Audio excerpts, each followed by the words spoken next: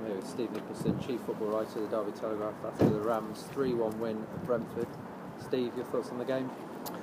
Yeah, first of all, a bit different stood out here on the road today. We, we had to rush out and move our car, so that gives you a bit of colour to the video. And we seem to be on a flight path to Heathrow as well, looking at uh, the planes going over. Uh, well, uh, a win, uh, much needed win for Derby. I always thought this was an important game.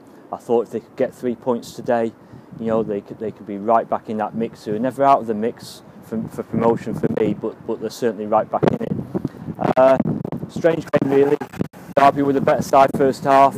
They uh, they had chances early on to score. They didn't accept those chances, and when that happens, you always worry a little bit whether you know the the, the opportunity may have gone. Uh, the home goalkeeper had a superb first half. Uh, and in the second half fell behind to a great goal from Alan Judge. I thought Judge was terrific today. He's a really good player for Brentford. Uh, and they fell 1 0 down, and you thought, oh no, not again, you know, is it same old, same old? But to be very fair to the team, showed great character, real desire, good fitness levels. Fitness has been in the news recently. Darren Wassall believes the team need to be fitter uh, for the Championship Challenge. Uh, showed great fitness levels, great desire, great energy got back into the game with a, a, slice of good fortune the way the ball ricocheted to Jeff Hendrick. He, he put it away very neatly. Attack in the end was 1,600 Derby fans. They roared the team on and, and the team responded. Uh, got a second goal through Cyrus Christie and then rode their luck at the end when Brentford nearly equalised on two or three occasions.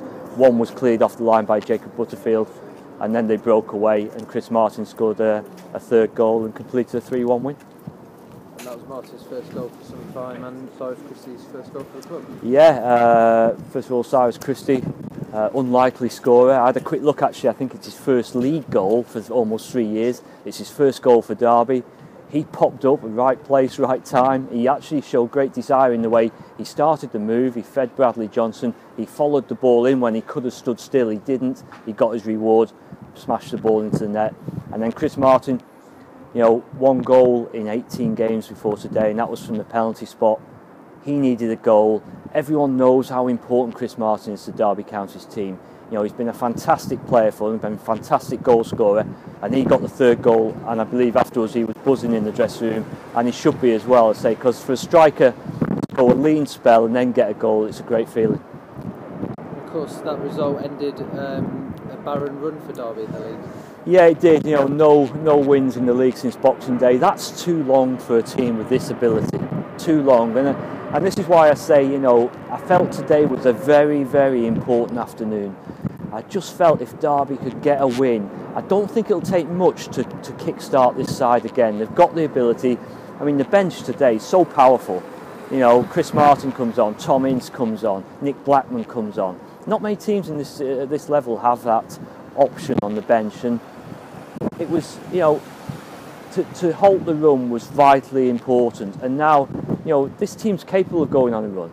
No one's getting carried away. Darren Wassall spoke to Darren Wassall after the game, and he made it perfectly clear. No one gets carried away after today, but it is a big moment.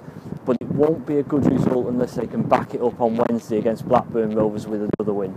And just on a final note, you know, Darren Wassall enjoyed the game. You know, he enjoyed the win. He enjoyed the celebration. A bit of Barry Fry, stroke Jose Mourinho running up and down touchline celebrating the goal. Celebrated in front of the fans at the end of the game. And why not? You know, it's tough. You know, it's tough in those roles. Head coach, manager. They're tough roles. There's a lot of pressure. There's a lot of emotion goes involved eh, involved in it. And there was a lot of joy at the end for Darren. And, and him, he and and the players deserve that.